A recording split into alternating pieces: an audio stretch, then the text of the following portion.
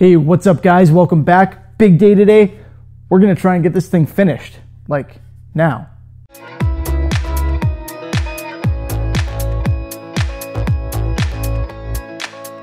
Don't freak out. It's okay. We got a bunch more builds coming up, and I mean a bunch. Like, so many that you're going to want me to take up, like the trombone building or something by the time I'm done.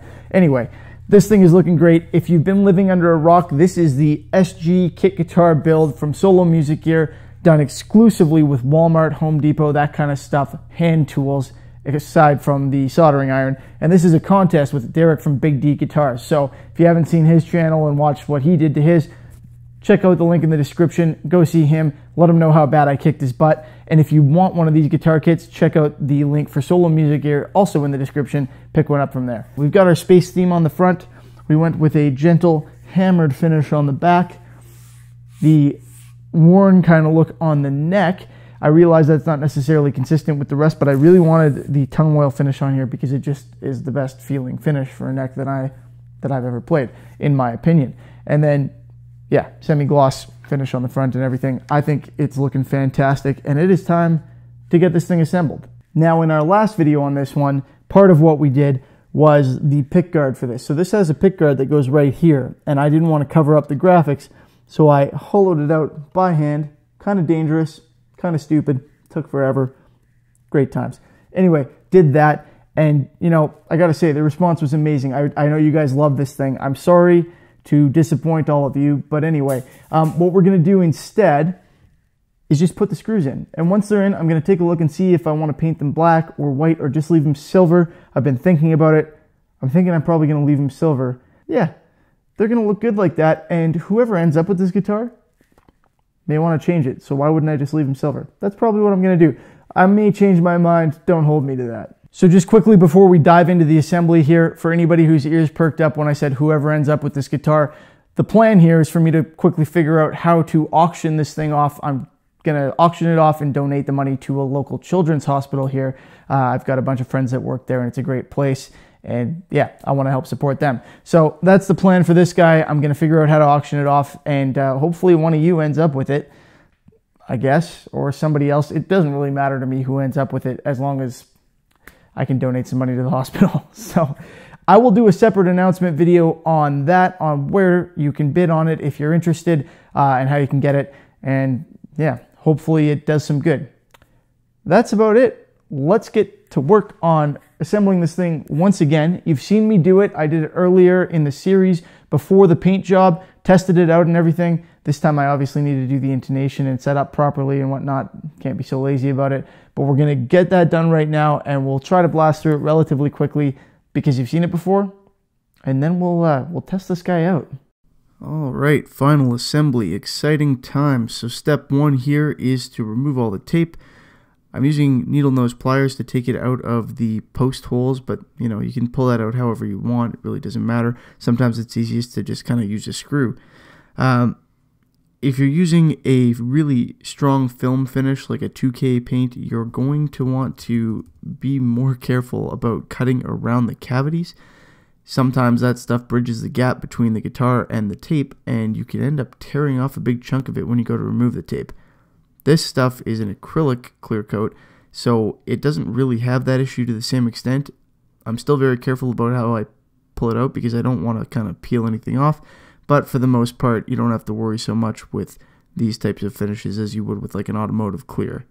Really, this part's about as straightforward as it gets. You just have to make sure you don't leave any tape behind. And yes, I have done that before.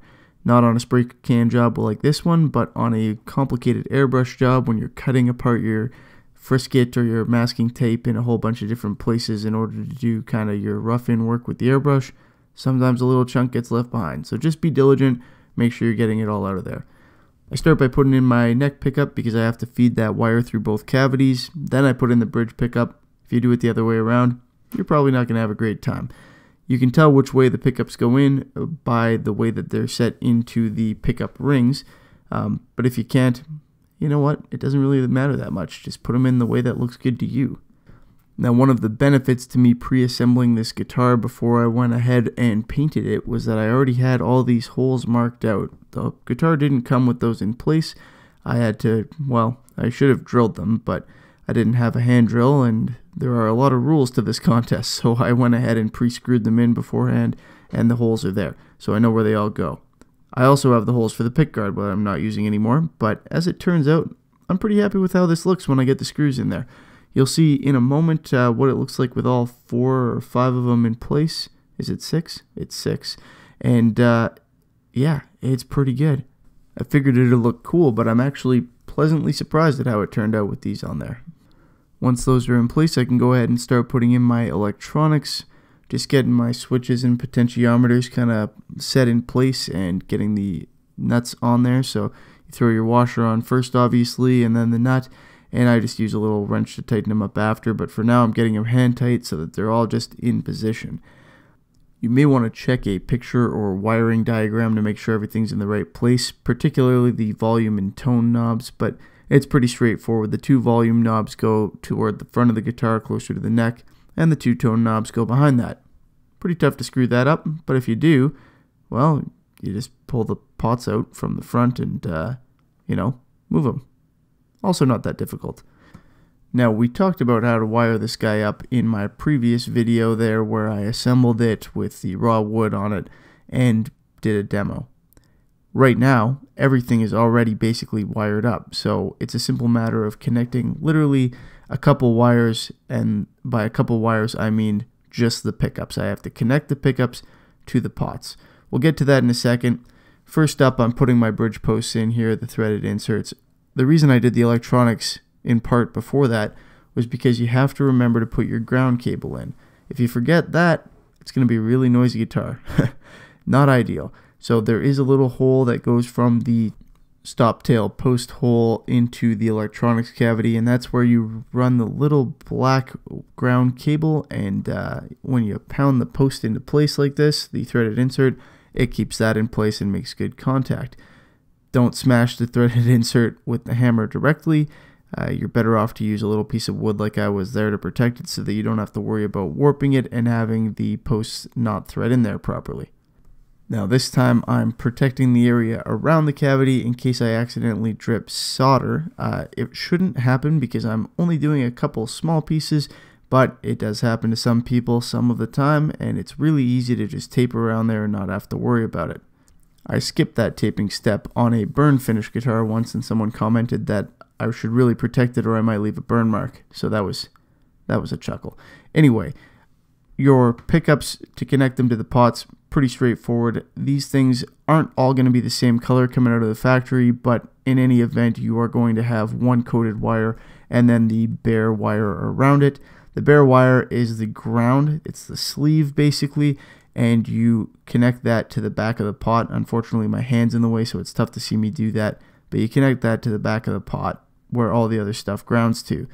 The other one goes opposite of the pre-grounded lug. So there are three lugs on each of these. One will be folded back or connected with a wire to the back of the pot, so it's grounded. Your hot's the other one. And then the rest of the pot is already pre-wired for you when you get the kit generally anyway. But if you have any confusion about it, just look up a wiring diagram. It will be easier to follow than trying to watch what I do here because my hands are in the way and I'm only connecting a couple wires. You're going to want to twist together any wires that are going to the same place. It's going to be very difficult to solder them to the same spot if they're behaving as two separate wires. When you twist them together, it's like you just have one. It just makes it a little bit more robust. Whoever ends up uh, picking up this guitar, you're probably going to want to do some cleanup work in here. I've left the wires very long in case you want to do any kind of customization or anything. There's tons of extra. You can do pretty much whatever you want. I mean, you may want to replace some parts anyway, but there's lots of extra wire there for you. This rewire job, not the most beautiful thing I've ever done, but it works fine and should continue to work until someone gets in there to do a bit of a cleanup job. In terms of other soldering tips, make sure you tin your iron before you use it and clean it off, and then tin it once more and then it'll work better. Uh, use the iron to heat the area that you're trying to solder rather than to just glob solder onto it, and then the solder will flow right onto the wires that you're trying to solder rather than just glopping onto the iron and then you having to wait for them to try and heat up after that. It's always important to have a good quality soldering iron. It makes your life much easier. You can get away with all sorts of crazy stuff when you're doing guitars. I mean, the whole thing's Home Depot, but the soldering iron, it's just really difficult to wire up a guitar with a really cheap soldering iron. I've never found that it works very well. You either get one that's too weak and won't heat the pots, or one that is strong enough that you risk kind of ruining the electronics when you heat them up. So, my recommendation to you is check out a decent one. The one that I'm using is from Weller. If you want it, you can grab it from the Amazon link in the description, but there are lots of good options out there. We're getting toward the end of the assembly here, so we're putting the truss rod cover on. My neck is still adjusted pretty much dead flat, but when I get the string tension on there, it's going to be good. I've tested it already. You've seen me do that. It works out just fine. So I've found that that's the case on many of my guitars. If I adjust them straight, then when I put the strings on, I get the relief that I need. But I can always take that truss rod cover off afterward, even with the strings on, move it to the side, and make an adjustment if I need to. I get my tuning pegs on here next, just hand tight.